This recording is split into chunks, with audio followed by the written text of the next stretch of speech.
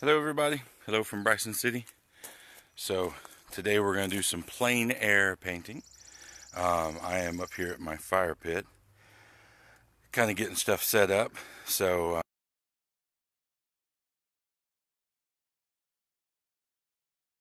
uh,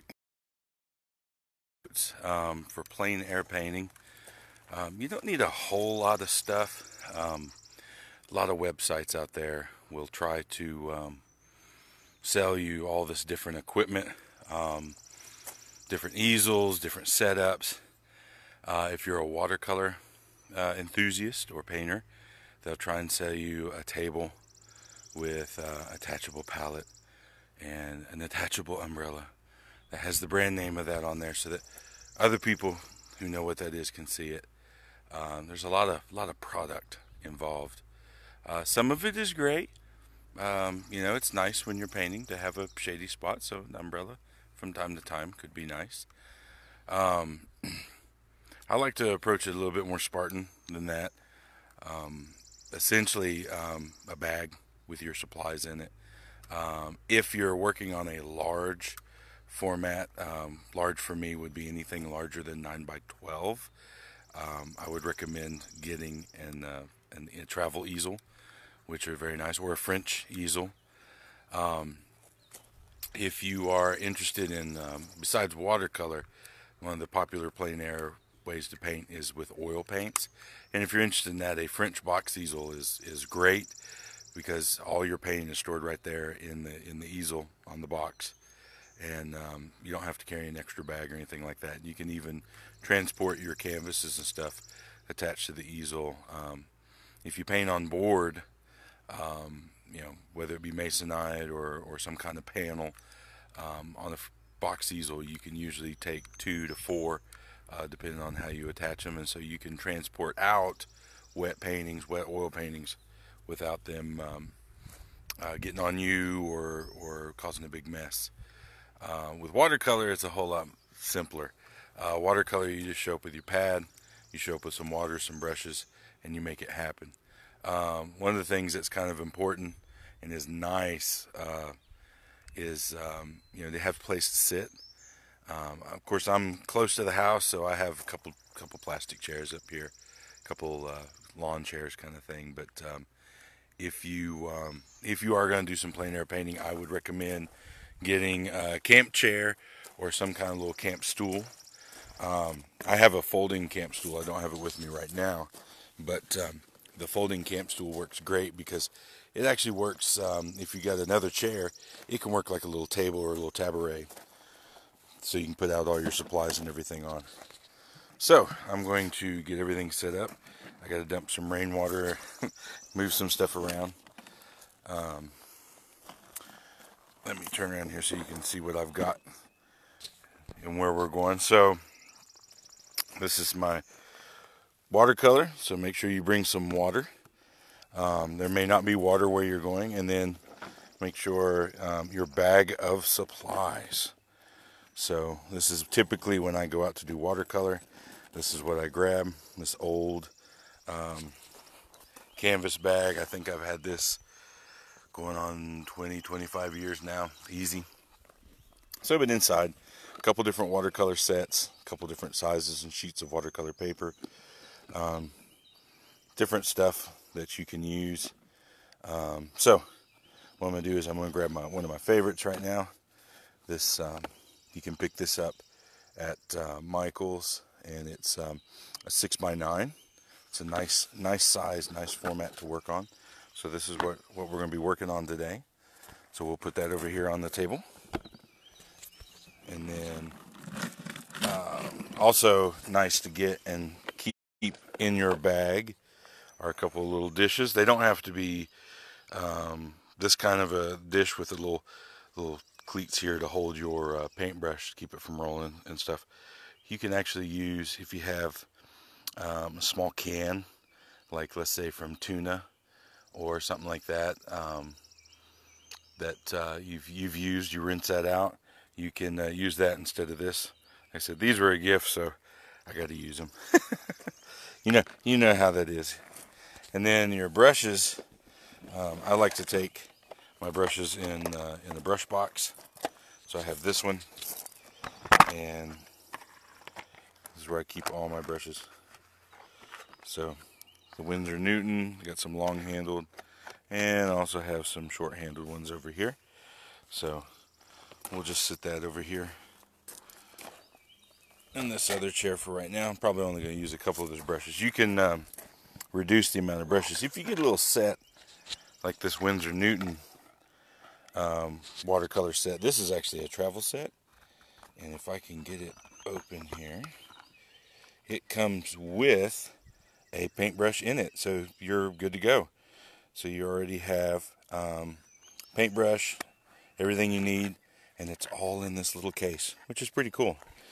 And then I bought down at Ashley store, uh, my wife bought me this little set, which is pretty cool. It does not come with a brush, however, it folds out like you wouldn't believe. And all these little pans here would be great for mixing colors. Um, you could drop a little brush right in there if you had one. Um, easy peasy, ready to go. And it's also got this nice little hook on the back. So if you wanted to run that through your finger while you're holding it, or if you had something to uh, to hook hook that onto, like on your easel, your setup, or your stand. So today, for my instruction, I think I'll switch to using all those brushes. I'll just use this little kit here, make it easy. So, all right, we'll set the bag down here close up all these brushes. But yeah, it's always good, um, I think, when you do plein air painting, if you're going to go out into the world, to um, take some extra stuff with you. You never know what uh, what you're going to see, what you're going to be inspired by, what's going to happen while you're out there. Um, you know, you could go for a hike and lose your pad. You could go for a hike and lose big box of brushes, lose some brushes. So I always recommend just take a little bit extra, take some backup.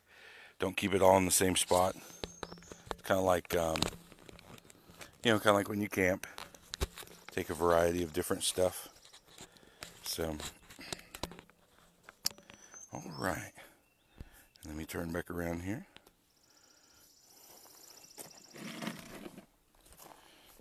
Let me slide this over to here.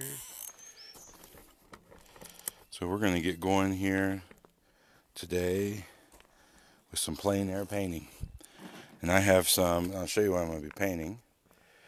I have a couple of these nice trees up here. Weeping spruce. And this one over here. I think it'd be pretty cool to kind of capture this as a scene. So that's what I'm going to be painting today. So Let me reduce the tripod a little bit. Get y'all closer to my paper. All right. So, plein air painting. Like I mentioned, it's good if you um, if you have a tripod. It's it's better. I like this six by nine because I want to be able to hold this in my hand. I feel more confident holding this in my hand than wedging it into a tripod or into a into a little portable easel. So um, I've got that. We got our dish over here, so water into the dish.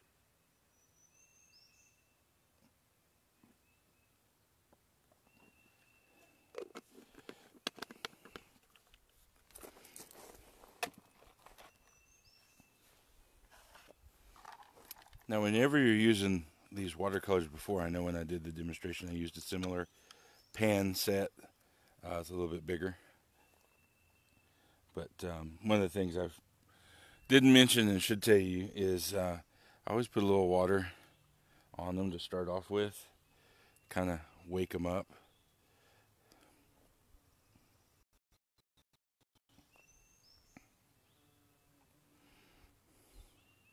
All right.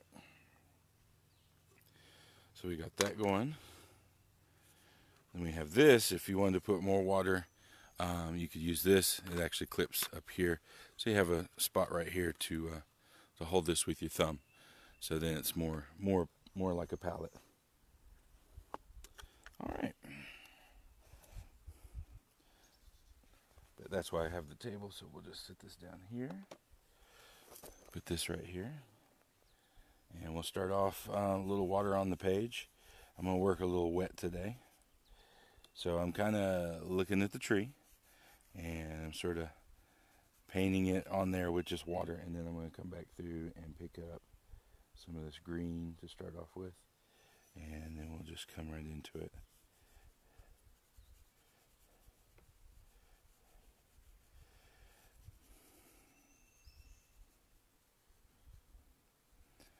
Just like that.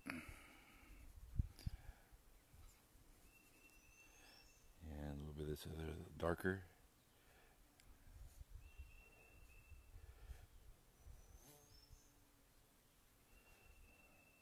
as you can see where it was already wet, the water's kind of blending it together, just like that. Add a little bit more water. We'll put some right up here. Let it run and do its thing.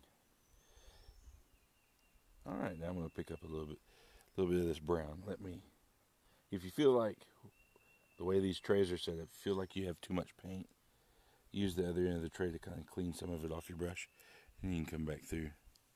So I'm just going to go through there with a little bit of that brown. And then I'm going to come through on the bottom here for the ground very quickly. Sketch that in, pull the water, let it move around so the water coming off of there has a place to kind of run and dissipate into. Let's get a little bit of this yellow. Add some yellow in pull that around. All right.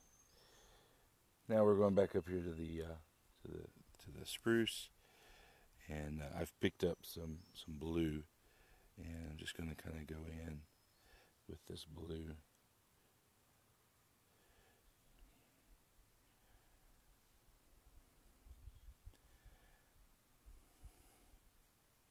I'll probably do a couple couple layers like this just because as we're working working a little bit more on the wetter side. Kind of want it to blend together. See down here in the bottom, some of that blue mixes with that brown and it makes a great shadow.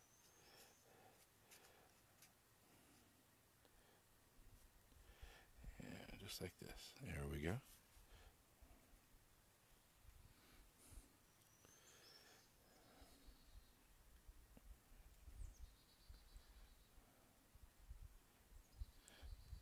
Some more water.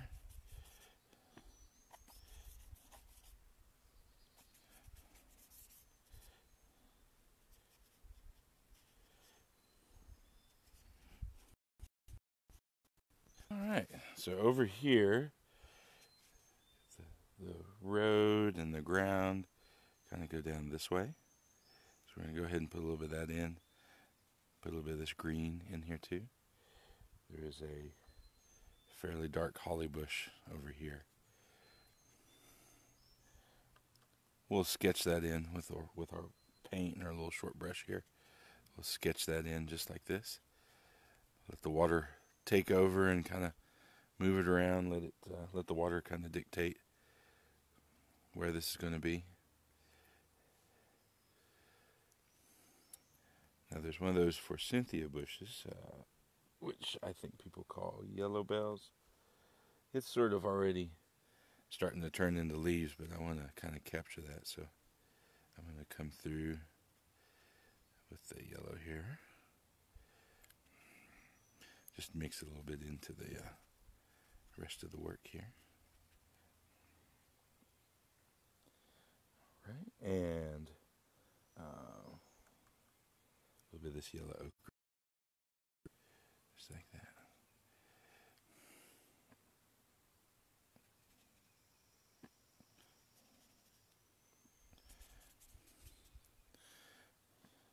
So I'm just adding more water, also kind of cleaning out some of that yellow ochre from my uh, brush, I'm going to pick up some more and bring it over here and some more right here and then add a whole lot of water. Now, here's a trick for watercolor that as your watercolor dries, the color kind of becomes permanent. Um, you have to kind of really try and agitate it with the brush to get it to move again. But while it's still very wet, you can get your paper wet and hold your paper a direction. Of course, it'll all flow that direction. It's great for uh, kind of washing out colors and um, um, creating a lot of color. And see, of course, I'm holding it this way and it's starting to concentrate, so we'll we'll let it go that way for a minute. And while it's doing that, I'm gonna add some more green over here for this holly. And go with this uh, darker, darker jade.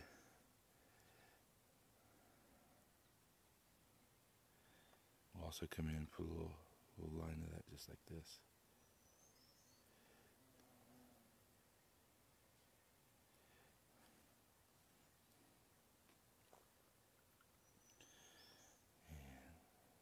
That to blend. Soften it up a little bit, blend it away. There we go.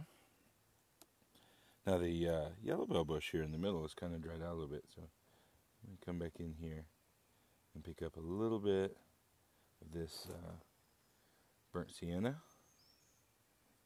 Wonderful orangey kind of color. Very nice. And then a little bit more of this blue.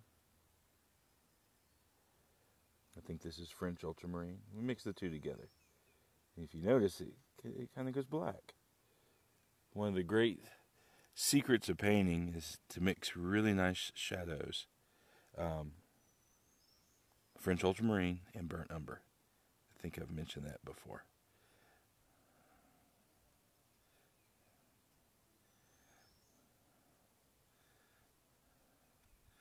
We're going to come through and put a few few lines and I'm also going to come back and get some of that burnt sienna onto my brush.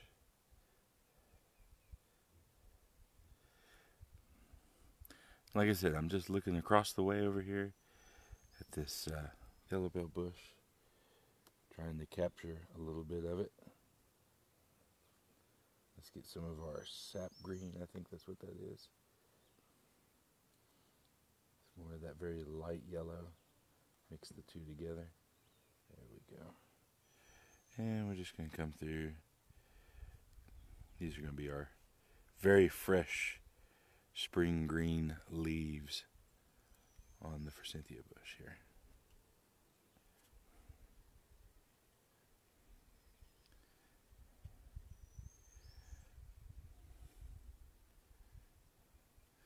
Just like that. Alright. Might add a little bit, pick up another little touch of that. Maybe come through and very lightly apply it down here. Maybe some more of this yellow too. So it blends in with this jade green. Just like that. When you're working with uh, wet, wet on wet watercolors, um, I think it's okay to kind of be um, a little on the abstract side. Um, you're trying to work, number one, you're trying to work quickly. Number two, um, it's okay to let other things kind of happen and appear that if you were trying to be more realistic wouldn't happen. So we'll get this all in here like this.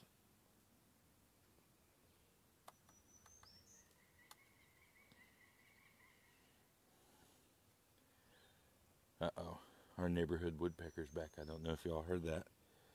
There is um, several, well, at least one that I know of, maybe more, um, woodpeckers that live up here where we're at, and um, it's really nice in the in the evening, and then sometimes in the morning too. You get up and you can come outside and hear them calling to each other, but then also you can you can hear them working on some of the dead trees Sounds like somebody's knocking on your door trying to get into your house.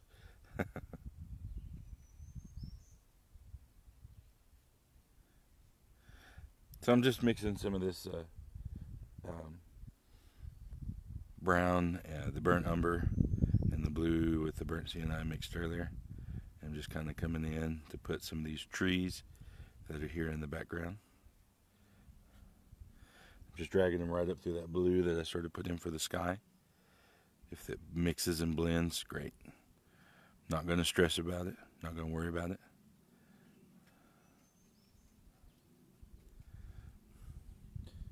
Now our pine tree that we originally, our spruce here that we originally painted, has dried out a little bit, so I'm going to come back in with some of this and put a shadow down his trunk, as well as come in and pull some of this across on some of these limbs. And then I'm also going to come back through and get some of this sap green.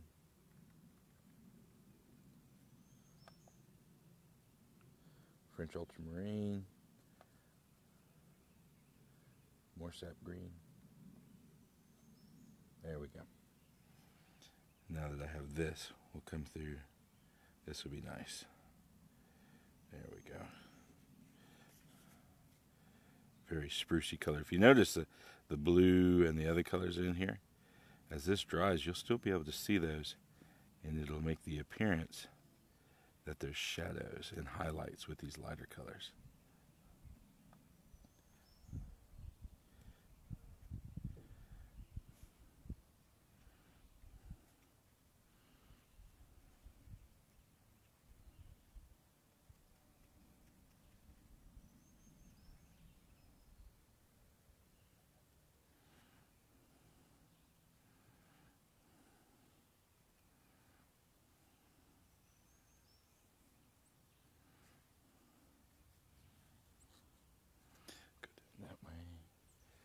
Pick up in some more of that too and just bring it over here to this holly bush.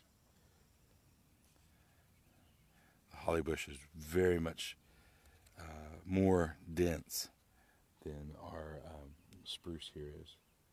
So I'm going to get a little bit of this French ultramarine. Let me thin it out just a little bit. And a little bit right here.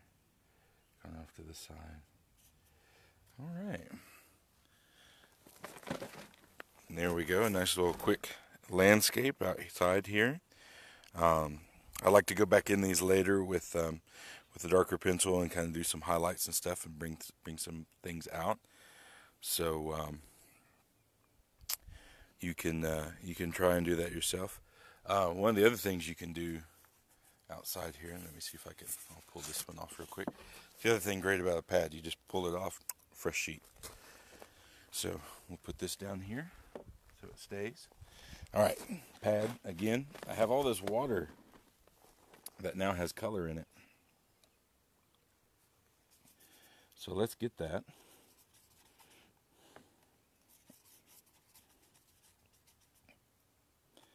I'm going to put it all over the page here.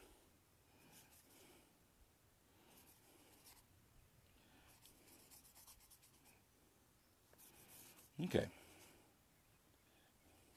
and I've mixed up all these colors too so let's get some of these colors here that I've mixed up get them onto the paper and off of the palette just like this. That way number one we're not wasting wiping away you know paint with a paper towel um, just to you know clean up so we can fold up our uh, portable little watercolor tray here and move on to the next location. Let's go ahead and use this up while we're here. I've actually spotted something else and uh, I'll show you guys here in just a second. It's going to be our inspiration. Again, observing from nature. Very important to observe from nature. All right. Um, a little bit of this blue. There's some right here. We'll pick this up and go right down through here. Over here as well. I'm holding it down so it, let me turn it around this way so you can see what actually is happening. So you can see the paint is starting to run. Very nice. We'll just let it do its thing. I'm going to pick up some of this green too. Mix that in here. There we go. Let it do its thing. Pick up some of this burnt umber.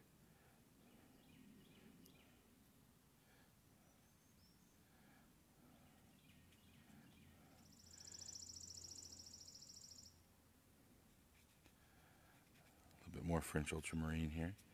I'm going to brush it in. I'm going to add some of this dirty water to it.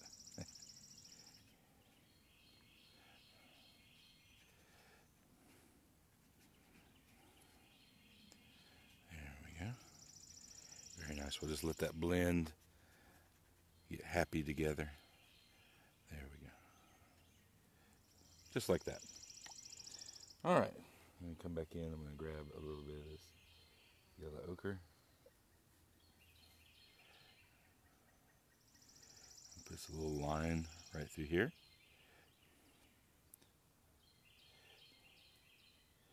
Just like this.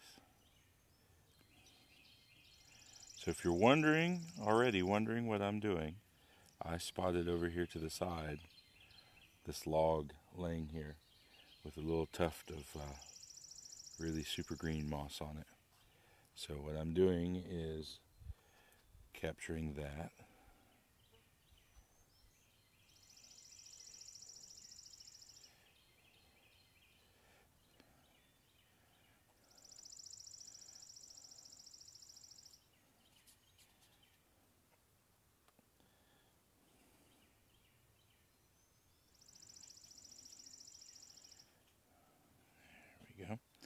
All right, looks very abstract, a little different. While we're at it, I'm going to uh, a touch of this yellow, this bright yellow, just a little bit. It's good to have lots of color. Matter of fact, pick up a little red. Just a little bit of red. Doesn't take much. All right, I'm going to hold it this way. Come on. we'll put a little water to it. That'll help it. We'll let the water move the red down through the painting. Here it comes. We'll give it a little guidance here. We want you to go this way, okay? And now I'll turn it this way. Let it all sort of run together. So as you can see, it's becoming quite abstract.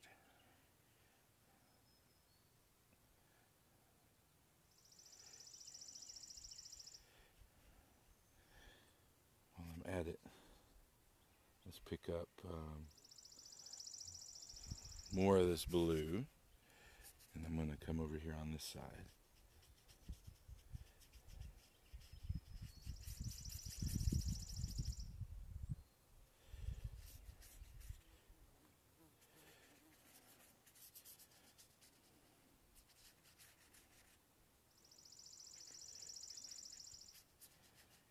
like that with the blue there. We'll let it run this way. While it's running this way, I'm going to come up here, add more water here. Same thing, more blue, making a little bit of a background.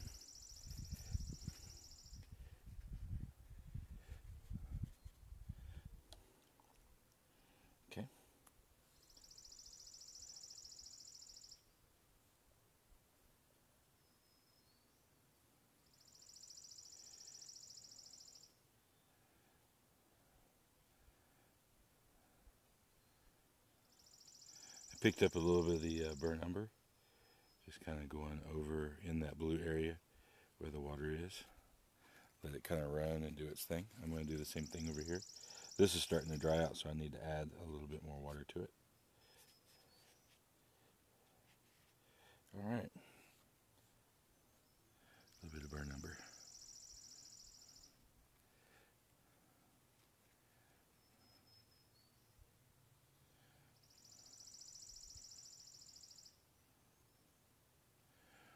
Like that. All right, so now we've got our little tuft of moss on here. So I'm going to come through right here.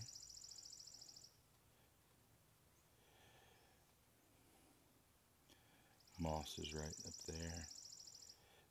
Go ahead and start loading up the green. Here's some of this other green. We'll put some there. Um, carry a little bit of that green over to the background, so just like that.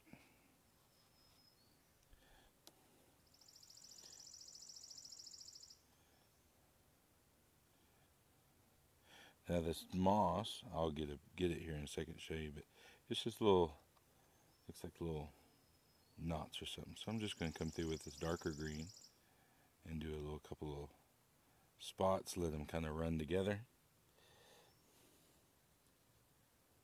Touch of this red, because there seems to be some red and orange in it too. Not sure why that is.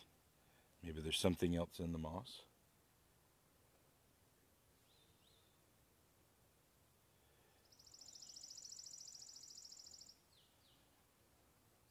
Working outside in the sun right now is really good because the watercolor is drying pretty quickly. So if I went with another color and came back inside, you know, the, some of this dry area, uh, with the tip of the brush, you could do some really fine, some fine lines that would be very strong. And you hit a damp area, and of course it uh, it kind of bleeds into it, but that's okay.